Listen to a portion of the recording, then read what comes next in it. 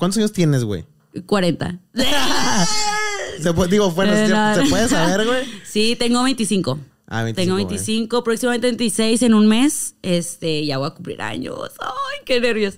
Y pues allá, ahí en Tresca me crecí con el perreo, güey, a todo lo que da, porque. Preguntaba porque somos casi el Forge. Yo tengo 27, güey. Mm. Ella tiene 20. 23. Ahí está. Este. Ay, está bien chiquita la bebé. Entonces estamos más o menos en, en la misma generación para ver Sí. cómo era eh, tu contexto ya en 3K y nosotros acá de este lado, güey. No, pues era puro perreo. Para empezar, mi vecina era de la artillería pesada, güey. o- No mames. Sí, güey. Salía con recta. Salía con recta, güey. Creo que no era de la artillería, pero salía con recta en los ballets. Entonces siempre estaban al lado. Sí. Siempre estaban al lado de mi casa bailando, güey. Y, y con perreo. Y pues a mí me empezó a gustar. Yo quise ser bellaca, güey, desde morrilla. Y desde morra fue de que estar ahí pegada a los ensayos y les, a- les aprendí a ellos de que a bailar. Y luego yo, pues, en las minidiscos de la primaria, güey, iba y, yo era la número uno ahí en ponerme para la reta de reggaetón y ganaba la. ¡Ah! Siempre gané en las retas de perreo al chile. Y, y crecí con el perreo así de Simón. que duro. Sí, sí, sí. Sí, sí. Y las tribal, o sea, también el tribal. No estaba de moda la de con los terroristas. Al Harlem Shake. Ah, eso No, ya, ya fue, fue más- no, ya eso. Es que yo soy más ¿Qué tratas morra. más, bebecita? No, eso yo ya estaba en la prepa, creo. O en la No, secu. me- Sí, bueno, No, en yo, la estaba, secu. yo estaba en sexto. eh. El Harlem Sí. Shake sí fue más adelante. Lo- Sí. Las temporadas tuyas de reggaetón son más de. No, más antañas de, como de cuando estaba todo el cotorreo de Fiera y todo eso. Simón. No, hombre, cuando estaba todo el cotorreo del arco iris, de DJ Cobra, de Jay Sand. DJ Sand, DJ Morpheus, DJ Asa. Todavía siguen esos, esos vatos, pero güey, en sus épocas acá, de cuando estaba bien calientito el pan, o sea, Sí. de cuando se hacían los concursos en Televisa, güey, con el recta. Y no, pues, o sea, yo, haz de cuenta que todo eso lo traigo acá tatuado, güey, en la mente, güey. Así es, es lo que me forjó, güey, en cuanto a música. O sea, si te gustaba darte un rol en los cotorreos de, de bellaqueo. eh, era lo Sí, que. vueltas. Ah, pues no, o sea, yo, yo estaba bien morrilla, o sea, no podía, nunca, nunca pude ir al arco iris, güey. Yo quería ir al, arco- al arco iris. Pero nunca sea, fuiste a los bailes de las. De, de las la, tardeadas. Tardeadas. De la banda así de la colonia o así. Ah, no, pues te digo que estaba morrilla. Mis bailes eran ir a la minidisco de la, de la primaria, güey, de la secu. O sea, no, ya cuando empe- pude empezar a salir fue hasta la prepa porque mi papá era bien estricto. Ah, Y era bien acá de que, ne, al chile tú hasta que, pues, o sea, hasta que estés más grande, porque, y de morrilla no, no me dejaban, no me dejaban hacer nada. Y pues nada más ahí en la, pero en la secu y en, y en la primaria, yo era así la reina del reggaetón. ¡Ay! Y todavía sigo siendo. ¡Oh! Muy No, no, no, perra, qué perra, ando bien mamona. ¿eh? Ando bien mamona, la verdad. Y en, esos, y en esos lapsos, güey, ¿no te dio la curiosidad por hacer música? ¿O, o cuándo viene ya la curiosidad por querer hacer música? No, hombre, no, no, yo la neta nunca tuve la curiosidad de hacer música. Nada más nació porque los bellacos me lo pidieron. O sea, ellos me, ellos fueron los que, como siempre salía bailando en, en las historias de, de que reggaetón y yo, ay, bien bellaca que ando y no sé qué. Y ellos me dijeron, no, pues haz un perreo a ver si muy bellaca. Y yo, no, pues ahí les va. Y, y fue cuando, pues yo dije, güey, la neta me gusta un chingo el perreo. O sea, me gusta de que los beats, o sea, en ese tiempo no, no sabía ni que se llamaban beats, de que las pistas, o sea, el sonidito, me gustaba, siempre me gustó. Y como también me gustaba rapear, o sea, pero en la peda y así, de que ya cuando, ya ¿Eran saben, al típico, eran los pantabatos? Sí, yo, yo, yo soy. No, la neta sí, siempre me gustaba pues así. Y luego mi hermana también se dedica a la música. Ah, no mames. Ella, ella, pero a ella le gusta el punk, el rock y toda esa onda. Puncarras. Acá sí, ella es acá metalera bien fuerte, este, y ella siempre estuvo muy acercada a ese tema. Y pues ahí de que le dije, eh, mira, me están diciendo que, pues que, que haga una canción. Sí, güey, hazla. O sea, de que te va a quedar con madre, de que... O sea, siempre un chingo de apoyo de parte de ella. Eso y es muy importante. Sí, eso es muy importante que tener a alguien que también te, te Crea en ti, güey, Que crea en ti. Sí, claro, eso es muy importante que crean en ti, Güey, que crean en ti es muy difícil mucha seguridad. encontrar a alguien que crea en ti, pero cuando lo, o sea, cuando hay alguien que sí te, te empuja bien machín y esa fue mi hermana, güey. Y, y pues ahí empecé, eh, o sea, armé la rola, como me gustaba mucho Katie Kane, bueno, me gusta mucho Katie Kane. Este, y todo el cotorreo de- del trap y así cuando estaba en su, en su mero mole. Que de hecho ahorita me gustaría hablar de eso, güey, porque yo también tengo una anécdota contigo junto a Rails B, güey, ¿te acuerdas? Sí, güey, pues la a primera vez que vino, B, ajá. la primera vez que vino a Monterrey, Con el álbum, ¿cuál era? Boys, Boys Don't, Cry. Cry.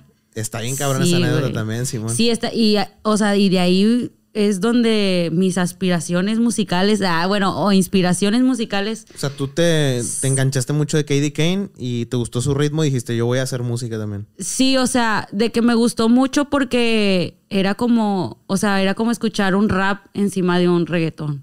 Y siempre me había gustado el rap, pero pues había siempre sido bien bellaca. Ah, entonces, como el KD Kane tiene un estilo bien fregón, güey, de como que deslizarse en el beat y hablarlo y a la vez cantarlo, dije, güey, qué interesante. Ah, de que, Sí. porque a mí no me gusta cantar.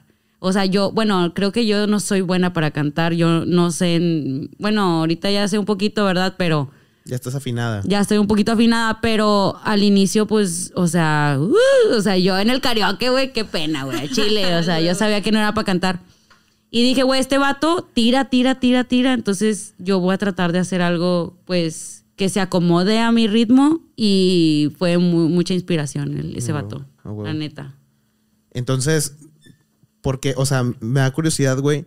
Entonces tú te enganchaste un chingo de la escena española, porque no nada más Katie Kane rapeaba así. O sea, no nada más Katie Kane montaba un, un, un trap o un reggaetón así, porque justo estaba muy popular todo lo que estaba pasando en Puerto Rico, todo lo que estaba pasando en Estados Unidos con los raperos americanos, pero en España se estaba haciendo otra escena totalmente diferente y justo como lo dices, como una onda de rapear encima de, de una base de reggaetón. De España estaba la Mafia del Amor, estaba Sí. John Beef, estaba Katie Kane, que bueno, Sí. John Beef todavía está muy activo. No sé si ya estaba la Zoe, ya ves que la Zoe Sí. era expareja de John Beef Sí, Y y, ellos- y- tienen un hijo. y tienen un hijo, sí.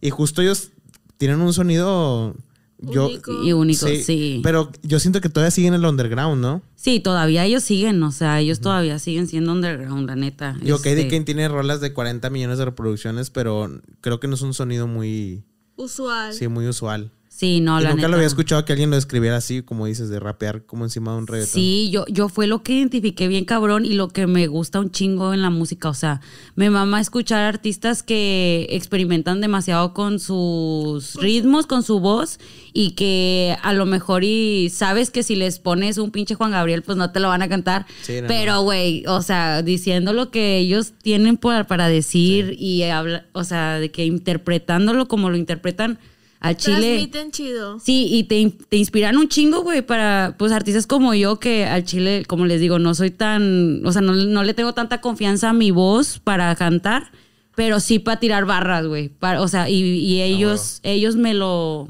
o sea, me dieron como que ese, ese feeling, güey, así bien cabrón. También la Woni, hay una morra que se llama la Woni Chonga, Ah, que sí, sí. Esa, esa morra también le, le rapea bien machín encima del perreo y, uff, no, es una pinche... Incluso, gloria, o sea, hablando de estos artistas como punks o medio, y porque yo, yo siento que tiene una estética punk. Hay un artista muy peculiar en España que se llama Cecilio G. Ay, yo que- lo amo, la Ese güey también es de, de esa camada del Katie Kane, de la. Mafia del Amor, de la Purgang. Y ese vato, pues no está ni siquiera entonado, tiene la voz muy, muy, muy No, grave. hombre, pero tiene una vale. esencia muy cabrona para plasmar lo que quiere decir en una canción. Rime o no rime, eh, esté en un sonido eh, armónico, ¿no? Es muy punk para, para estar en la onda de, de la música urbana. Sí, güey, ese vato neta tiene canciones bien pasadas de verga, güey. Yo también es inspiración también mía musical. Eh, ya tiene años y sigo escuchando Taquisman, o si no se llama Taquis- Ta- Taquisman no lo he Ta- bueno, eh, X, es- sigo escuchando sus pinches rolas acá bien. Y de hecho, ¿sabes? Es lo chido y lo pregón de las redes sociales, güey. Lo poderoso, por lo que me gusta ser a veces influencer y bellaca y todo este cotorreo. De tanto que me gustan, pues yo a veces los menciono o en mi momento loco acá psicótico fandom, güey, de que a veces sí, sí les mando mensaje de que, por decir, al Jordan 23 lo tengo harto, güey. Güey, yo también soy, pero con una que se llama Fufu, güey. Yo a Fufu Ah, sí, lo- la quiero un chingo, güey, porque está bien. Ah, está, bien está bien que habla así, naco, a Chile habla Naco. naco, la fufu Sí. habla como uno. Y me cae chido, o sea, dice puras y yo siempre de que jaja, me cae bien, te invito a fumar. ¿eh? Ah, Simón. Sí, sí, siento como que tiene un, un carac- o sea, una personalidad muy tranquila, como, Sí, como una persona de sangre ligera. sí o sea- de sangre ligerita, así como que la le vale verga todo, y que sí. Y Simón. siempre- Bueno, siempre- A Entonces mí- al Jordan 23 tiene hasta la madre. Güey, yo lo tengo harto, pero lo chido es que sí me contesta. Ay, no, y así como, no, y así como a- me, ha- me ha llegado a contestar, pero el Jordan pues sabe que soy su fan, o sea, me contesta, sabe que soy su fan. Pero, o sea, sí he tenido, opor- bueno, no oportunidad, he tenido, este, pues no sé, de que la, la dicha, ah, de que me estén empezando a seguir muchos artistas así como de esa talla, Ah, que bueno. yo siempre he admirado su trabajo. Y no me importa si sea por la música, porque estoy bien buena o así, pero ellos me dieron follow ah, y están ahí de que a veces pues llegan a ver lo que estoy haciendo y eso me pone muy te contenta, güey. claro, güey, Porque pues, o sea, yo a veces es de que, órale, eh, salió nueva rola y que ellos estén viendo, al menos que estén viendo de que, pues que Ah, lo que estoy haciendo, haciendo ajá, algo. pues me mamá, o sea, porque pues les digo, yo la neta sí soy súper como, o sea, les, me- o sea, son, son inspiraciones para mí, vaya, en Claro, estos claro. temas. Y también están bien guapos. ¡Ay! ¡Qué rico! ¡Ay! Así que ya lo saben, Jordan 23, si quieres colaborar con Luz Elena Macías, En, porfa. en- en OnlyFans. En- ¡Ah! ¡Qué fuerte! No, sí, pero está, está bien chido ese cotorreo de, de, de ser influencer y también estar haciendo música. Pero está peligroso, ¿eh? Porque, o sea, a veces es como de que no te tienes que olvidar también de que eres influencer. O sea, no siempre todo tiene que ser la música. La neta, yo la música es amor al arte, es hobby. O sea, ahí ando haciendo rolas. Como para divertirte. Sí, pues, o sea, ahorita ya le estoy poniendo un poquito más de seriedad porque estoy haciendo un, e- un álbum. Estoy trabajando como que ya literalmente, o sea, las portadas, eh, los colores, esto, el otro. Tienes que echarle coco a ese Sí. cotorreo. Pero, este, pues yo misma he tratado ahí como que de, de, de no, de no gancharme tanto, vaya, con, con eso y también darle espacio a, a que eres un personaje, un influencer y así. Es lo que más vende ahorita, la verdad. O sea, Sí, sí. el tener una personalidad no se compara a nada en redes sociales. Yo creo, ¿o ustedes qué opinan de que, que es lo más fundamental que debe de tener una, un creador o alguien para... La conexión con la Sí, creo con que el público. creo que hay que ser hay que ser bastante honesto, güey. O sea, no creo que una persona que vende mentiras o, o te vende una película, güey, tarde o temprano Va a salir a la luz. Sí, güey. O sea, creo que no hay como si te dedicas a esto y es una persona que usualmente te gusta llamar la atención. Entonces, Claro, ese es algo. si tú te dedicas a este rollo, creo que lo fundamental es como ser pues muy transparente, así como tú eres y por ahí te encontrarás con un nicho con el que hagas clic y y te y te pues sí le guste lo que haces y tal, ¿verdad?